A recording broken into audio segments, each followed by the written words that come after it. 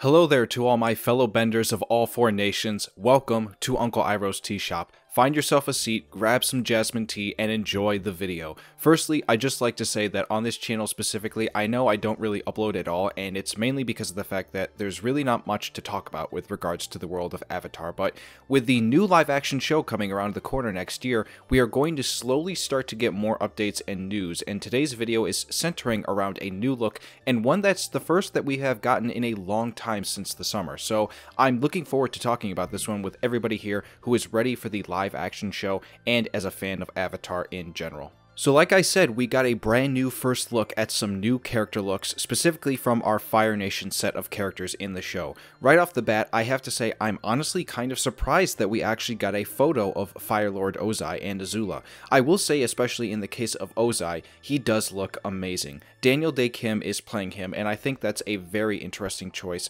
for an actor to portray the big bad of this entire series. I don't know if he'll be quite on par with Mark Hamill as the voice, but I think he'll definitely nail it down from a live action perspective. Azula is being played by Elizabeth Yu, and somebody I'm not familiar with in any way, but just based off the photo, she looks pretty decent in terms of the look. She's got the hair down, but her outfit does look a little modified from the original animated version. I don't personally mind it, and after all, it is just an outfit. I'd be more curious to see how she nails down the personality of Azula. She has a very unique personality just based on her characteristics, so that's probably most important with regards to her character. Of course, for those who know the animated show, these two characters don't fully show up until after book 1. Yes, there is a sneak peek of them both at the very end of book 1, but in terms of actually seeing their faces and in action, they don't fully come into play until book 2 and book 3, which to me begs the question of I'm pretty sure just by judging off these two photos, it seems like we are going to be getting brand new scenes to add into the established continuity of the original animated show. Again, like I said, just by judging off where these two characters are in their photos, they seem to be in locations that are not of what is given in Season 1.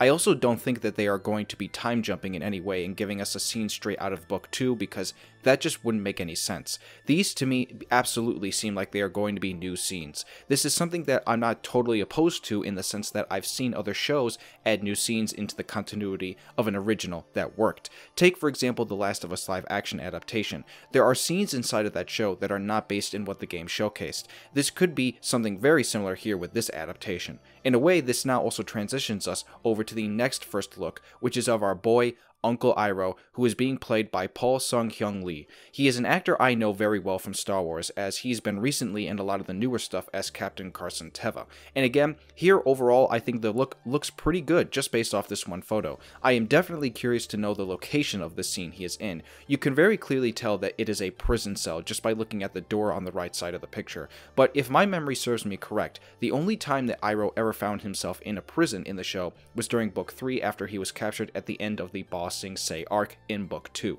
I'm not sure who he'd be visiting here, although now that I think about it, I have an interesting theory to this one. This could be a completely new scene, and one that could be of him visiting Zuko after he was given his scar by his father. Again, I'm not exactly sure where he'd be here knowing Book 1. It is very clearly Fire Nation related because he is still in his robes, so that's why I come up with a theory like that. Let me know where you think this scene might take place if I'm totally wrong with that theory. Moving on over to the next first look, we are getting Commander Zhao in a scene that based off the photo is clearly obvious as to what episode it might be taking place in. This photo definitely looks like it's taking place in Chapter 13, The Blue Spirit, where Aang was captured and rescued by Zuko as the Blue Spirit. In that very episode, Zhao tells his forces to stand down and let them go. This could be him, but reimagined to where he's on the ground instead of up in the tower. Behind him, we also get a first look at what a soldier looks like from the Fire Nation.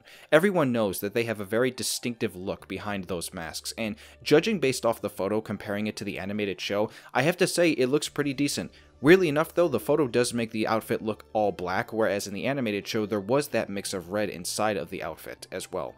Maybe it's just the way that the scene is lit and the photo just captured what it looked like there. Either way, at least from the face, it does look pretty good. So again, to recap, I believe that this is the scene from that episode, but I'd be curious to know if anybody else thinks that this is another one with him in it. It could also potentially be a scene inside of chapter 16 where Aang goes to meet Jeong Jeong for firebending teaching. I'm not sure. I want to hear all your thoughts in the comments below. And then finally, we also get our first look at Prince Zuko. And again, I have to be honest, at least from the outfit, I'm pretty much digging the look. I have noticed a few people say that his scar could have been touched on a little bit more. To some degree, I understand what they are saying, and it doesn't bother me too much, but in a way, I kind of agree and disagree that maybe it should have been touched up on a little bit more. In terms of the scene of this photo, there are definitely a few possibilities. This is potentially a scene that takes place on his ship, where he might be in a different room inside of the ship, but I don't know if this is necessarily his quarters.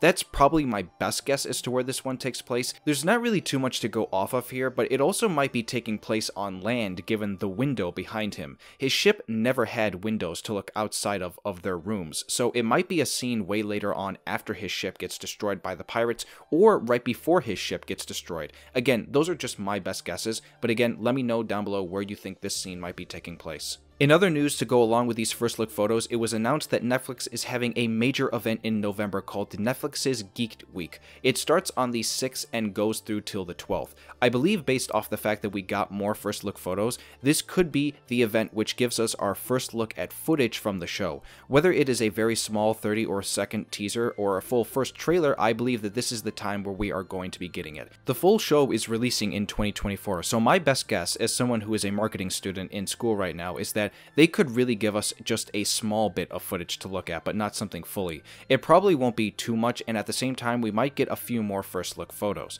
Just basing that off the timeline of when it might release in 2024, I think that that's a pretty safe bet to make. Overall, though, that's all that there is to cover with this new news for the live action Avatar show, which at this point, again, I think might be the main thing that I focus on with regards to this channel. We are still ways away from anything to come about from the new animated shows that we know are coming, and as of right now, there's really not too much else going on in the world of Avatar. I know there was a new video game that just came out, and unfortunately, it looked like it didn't really turn out too well, and so right now with regards to this channel, my main focus will probably be on the live action show. But hey, that's cool because as of right now, I've got a pretty busy life going on, and a lot of my effort recently has been focusing on my other two channels that I have, which are linked in the description. Go check them out if you are interested. Like I said, I am currently in school right now, and that is going to be ending around December. So here's hoping that the future is bright right now, especially for this channel, because I'm very passionate about Avatar The Last Airbender and the world of this franchise. It is my favorite show of all time, and so I am definitely happy to be able to bring as much to whatever comes in the future as I can. One last thing, on your way out of Uncle Iroh's tea shop, be sure to let him know how much you appreciate his jasmine tea and his words of wisdom that come with it. You can do that by liking this video if you enjoyed, commenting down below your thoughts on this new look, and subscribe to the channel if you are new here and want to see more Avatar content. I hope you all have a great rest of your day. I'll see you soon.